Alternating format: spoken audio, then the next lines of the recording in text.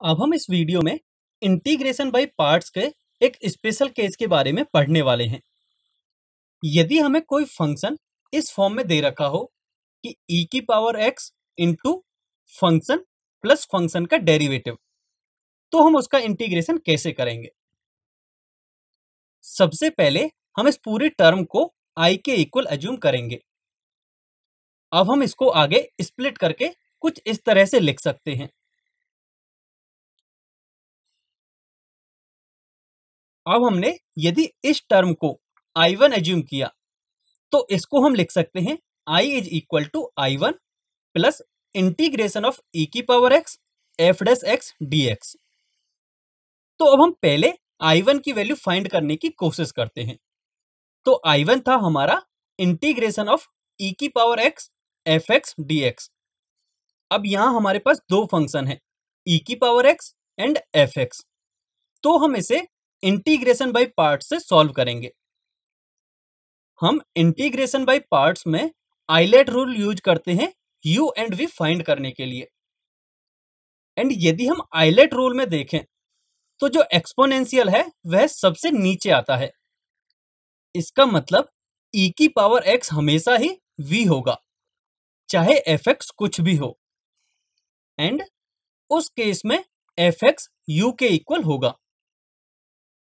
अब हम जब आगे इसे सॉल्व करने के लिए u डॉट वी फॉर्मूले का यूज़ करेंगे तो हम I1 को कुछ इस तरह से लिख सकते हैं।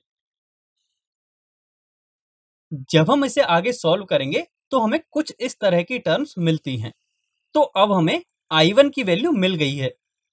अब हम I1 की वैल्यू वापस से I में पुट करते हैं, जिससे कि I इज़ इक्वल टू हो जाएगा I1 जिसकी वैल्यू हम फाइंड कर चुके हैं प्लस रिमेनिंग पार्ट अब हम इसमें देख सकते हैं कि ये दोनों टर्म एक दूसरे से कैंसिल हो जाएँगे, जिससे कि हमारे फाइनल आई की वैल्यू आएगी ई की power x into f x plus c तो अब आप यहाँ देख सकते हो कि जो हमारा ओरिजिनल फ़ंक्शन था, उसका इंटीग्रेशन हमें मिल चुका है, और वह ई की power x into f x plus c के इक्वल है। इसे हम एक एग्ज़ाम्पल से समझते हैं। माना हमें e की power x into sine x plus cos x का इंटीग्रेशन करना है। तो चलिए अब हम देखते हैं कि इसे हमें कैसे सॉल्व करना है। हम सबसे पहले इस गिवन फ़ंक्शन को i के इक्वल अज्यूम करेंगे। अब हम राइट हैंड वाले पार्ट को स्प्लिट करके कुछ इस तरह से लिख सकते हैं।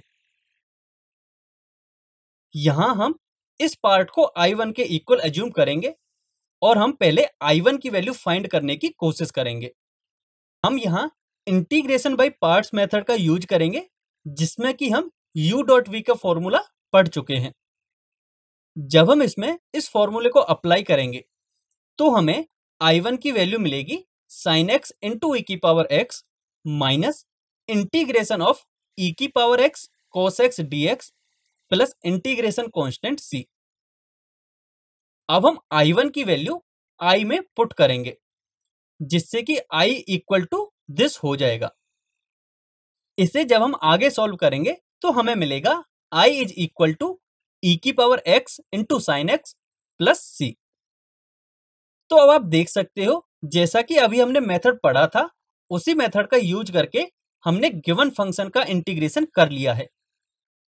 लेकिन हम इस क्वेश्चन को डायरेक्ट फॉर्मूला यूज़ करके भी सॉल्व कर सकते हैं। अभी हम पढ़ चुके थे कि यदि हमारा फ़ंक्शन e की power x into f x plus f dash x की फॉर्म में हो तो हमने उसके लिए एक फॉर्मूला डेराइव किया था। यदि हम उस फॉर्मूले का डायरेक्ट यूज़ करें तो हम पहले f x and f dash x find करते हैं।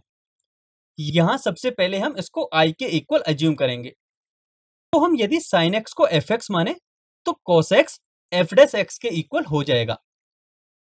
तो हम पढ़ चुके हैं कि e की power x into f x plus f dash x के इंटीग्रेशन का फॉर्मूला होता है e की power x into f x plus integration constant c इसे से जब हम अप्लाई करेंगे तो यहाँ से हमने देखा था कि साइन एक्स एफ़ एक्स के इक्वल था। तो हमारा फाइनल आंसर होगा e की power x into sine x plus integration constant c